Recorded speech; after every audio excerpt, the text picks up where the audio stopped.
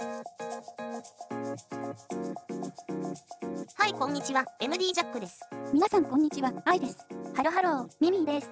今回は、あ、ちょっと発売から時間経っちゃってるやつですが、 TRN の玄武、スクエアプレイナードライバーと BA のハイブリッドモデルです。読み方は、ですが、このレビューでは、玄武で通します。形からするとエントリーモデルってことでいいんですかね？いいんじゃないかな。4000円ぐらいだっけ？プレイナードライバー搭載モデルとしては破格よね。でも B8 のハイブリッドなんだね。ってことは、セレストグミホと同じ構成だ。そうそう。販売ページ見て、最初、価格間違ってんの？って思ったわ。3000円台で買えたのは良かったけど、なかなか届かなくてちょっと心配になったわ。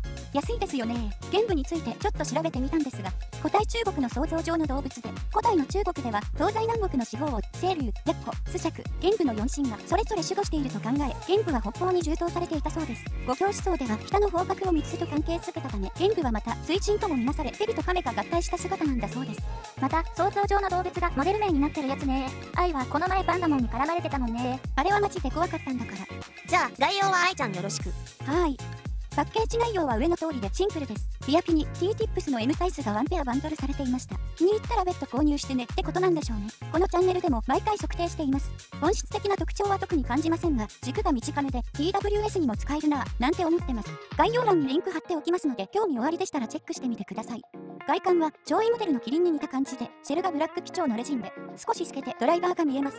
ステムとフェイスプレートのエッジが金属製で、ゴールドとちょっと大人な感じ。イヤーフィンというほどではありませんが、滑らかな凹凸があります。厚みが 22mm 弱ぐらいで、装着時のはみ出し感も愛の耳ではないかな。重さも 5.3g ぐらいなので、全然気になりません。ドライバーはまず 10mm スクエアプレイナードライバーセレストグミホにも搭載されていたけど四角いのって安く作れるのかしら？それとカスタム BA がノズル内に配置されてる。スクエアプレイナーだと全海域をカバーしきれないのか BA と組み合わせることが多いように思うけど剣部はバランス的に BA が強力で広域がかなりはっきり出てるわ。サウンドチェックの前にどのイヤピで音収録するか決めるんですけどいつものようにいくつものイヤピを装着した測定結果を見ると本体水分ばらつきがありますねそうなんだよ。原因がよくわからなかったんで、何度も測定し直したり、ケーブルを変えたりもしたけど、結果は変わらなかった。変化幅の大きい、この2つに絞ってみる。これでレベルは同じなんで、差の大きい、この部分を EQ で補正してみた。すると、レベル自体がかなり落ちるので、補正前のレベルに合わせた結果の比較がこれ。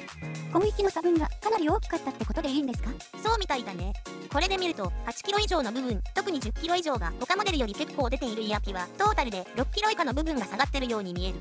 リスニング時は、波形のばらつきほど聞こえ方には影響がないように思える。10キロ以上がよく聞こえる人には、はっきりその差がわかるだろうけど、この辺の広域は、測定したレベル差ほど聴覚上では差分が出にくい気がする。10キロ以上がよく聞こえる人には広域の突き抜け感がすごいってことですかね？多分、12キロ以上がちょっと苦手な私でも、広域結構出るよなーって思うからね。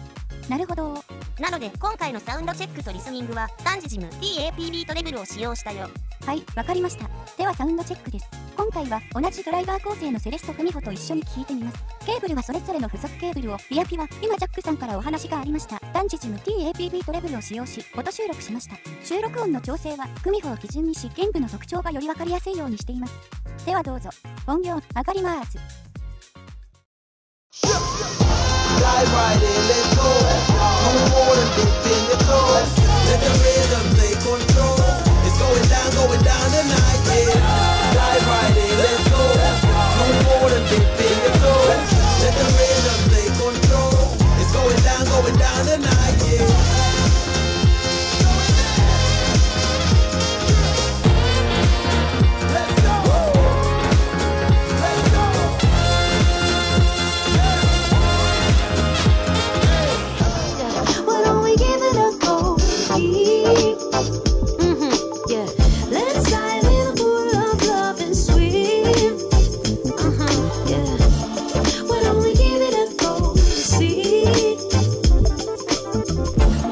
the new.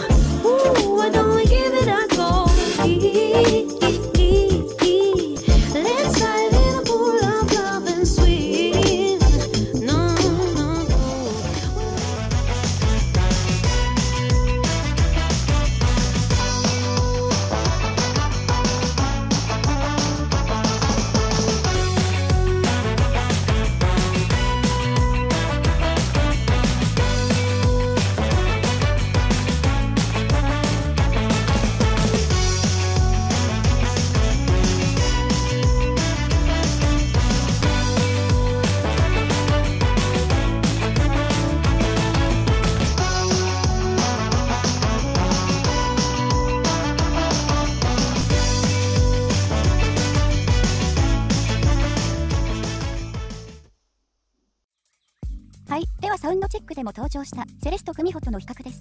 低域は 200Hz ぐらいまでほぼ同じ感じでどちらも結構しっかりした出方に感じます。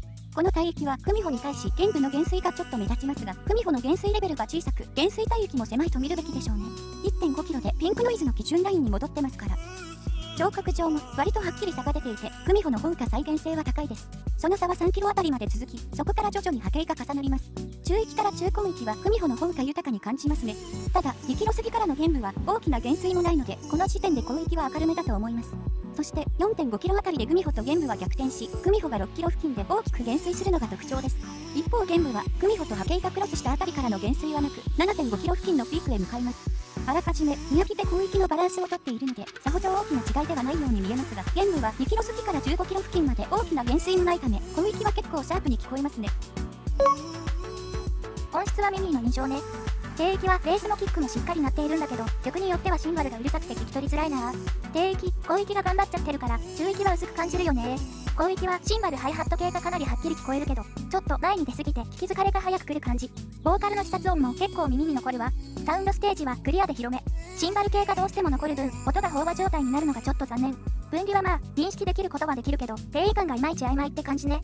改造感は広域が強いから音としてはくっきり聞こえるけど、それを改造感が高いという表現に結びつけていいかというとそうでもないかも。やっぱりドンシャリってことなんでしょうね。パッと聞いた感じのインパクトはあるんだけど、この音をずっと聞いていると、盛られすぎて本来の音がわからなくなっちゃいそう。ミミーは苦手だななるほど、ミミーさん、ありがとう。最初は私も広域がきつく感じて EQ で調整してみたんだけど別のアプローチでたった1箇所上げるだけでかなり聞きやすくなったんだよ。これね。こんなとこ上げるの？なんで？ただ上げるだけだと音割れちゃうんで EQ のアウトプットは3から4デシベルぐらい下げてる。これって結果的に低域と広域を下げてるのと同じような効果なんだよね。中域が前に出てきて低域と広域が落ち着くんだけど低域より広域の方が影響範囲が広い分広域がいい感じで落ち着いたよ。ポイントもどのぐらい持ち上げるかもミミーちゃん次第だけど簡単に調整できたからよかったらやってみて。ああほんとね。なんか別物みたいね。これすごく良くなったわ。ジャックさんありがとう。基本レベルが上がっちゃうから EQ のアウトプット下げるの忘れずにね。はいはい。ゲームは現在4000円ちょっとぐらいで買えるのでプレイナードライバーモデルとしては最安だと思います本格的なプレイナードライバー搭載モデルの価格帯とは大きな差があるのでそれらと同じ品質音質を期待しちゃうのは酷だと思いますが手軽に試してみるにはいいんじゃないかなと思います。BA からの出音がちょっときつく感じますがシャープな攻撃がお好きな方にはおすすめだと思います。ですが低域もしっかりしていますよ。ふみほも安いと思いましたけどそれを軽く超えてきてますから。興味あったら買っといてもいいんじゃないですかね。発売からちょっと時間が経っているので持ってるよってコメントが多かったら愛も買ってみようかと思います。なるほどね。皆さんの意見聞きたいとこだよねということで、スクエアプレイナードライバープラスカスタム BA のハイブリッドモデル TRN 言語のレビューでした。